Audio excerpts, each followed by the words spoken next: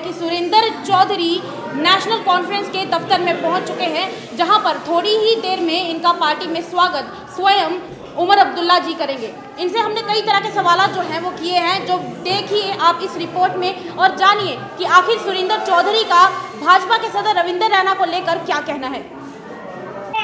जिन्दावाद। जिन्दावाद। चौधरी साहब। जिंदाबाद। जनाब उमर अब्दुल्ला साहब।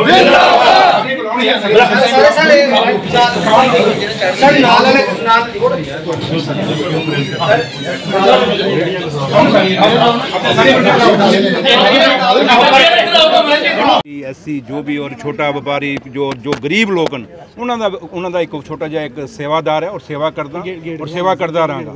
ਰਹੀ ਗੱਲ ਇਹ ਸ਼ੇਰਾਂ ਵੇਰਾਂ ਜਿਹੜੇ ਹੈ ਨੇ ਸ਼ੇਰ ਚੰਦ ਪਤਾ ਚੱਲ ਜਾਏਗਾ ਆਮ ਦੇ ਉੱਪਰ ਅਗਰ ਤੁਸੀਂ ਕੋਈ ਸ਼ੇਰ ਹੀ ਸ਼ੇਰ ਹੈ ਤੇ ਇਲੈਕਸ਼ਨ ਕਰਾ ਕੇ ਦੇਖ।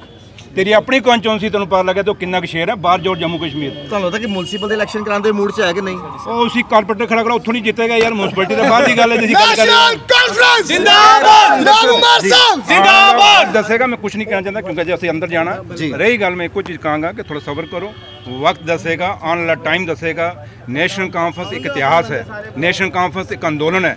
ਨੈਸ਼ਨਲ ਕਾਨਫਰੰਸ ਜਿੱਥੋਂ ਮੇਰੀ ਸ਼ੁਰੂਆਤ ਹੋਈ ਅੱਜ ਮੈਂ ਵਾਪਸ ਘਰ ਪਰ ਆਇਆ ਇਸ ਵਾਸਤੇ ਵਕਤ ਦੱਸੇਗਾ ਕਿ ਆਉਣ ਵਾਲਾ ਵਕਤ ਕੈਸਾ ਹੋਏਗਾ? ਗੱਲਾਂ ਜਵਾਂ ਜਵਾਨੀ ਨਾਲ ਕੜਾ ਬਣਾਉਣ ਨਾਲ ਕੱਖ ਨਹੀਂ ਹੋਣਾ। ਜਦੋਂ ਕੜਾ ਬਣੇਗਾ ਤਾਂ ਸਹੀ ਕੜਾ ਬਣੇਗਾ ਇਹ ਜਵਾਂ ਜਵਾਨੀ ਨਾਲ ਨਹੀਂ ਬਣੇਗਾ। National Conference National Conference National Conference National conference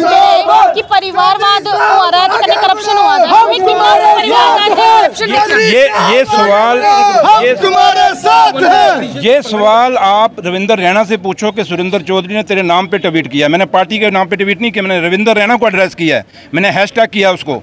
corruption and परिवारवाद। पूछिए सुरेंद्र चौधरी ने क्या चौधरी ने ये चीज़ क्यों कही है? ये खुद वो जवाब दे मैं क्यों दूँगा उसको नहीं तो इस बार तो वो बोल रहे कि पचास का आंकड़ा हम पार करेंगे अब आप भी चले गए हैं तो ये करेंगे पार? एक्चुअली गलत कहीं गिनती उनको धोखा लग गया। माइनस ज़ीरो कह रहे होंगे। माइनस पचास का होगा प्लस पचास नहीं हो का होगा? माइनस पचास का होगा। दूसरी ये भाजपा जो इल्ज़ाम लगाती थी पीडीपी ये या कांग्रेस को कहती थी परिवारवाद। आज उन्होंने आपने इल्ज़ाम लगा दिया। मेरी बहन रेशमी जी मेरी बात याद रखना उसको एक सवाल पूछ लेना।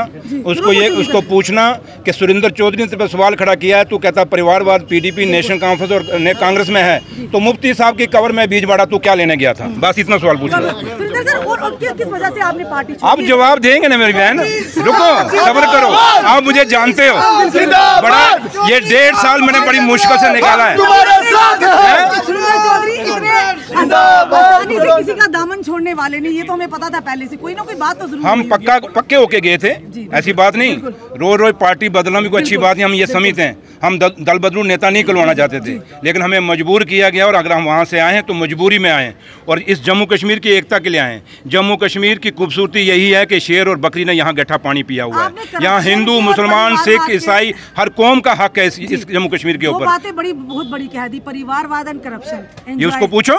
ये अशोक कोल जी का भी नाम साथ में लिया अशोक वो।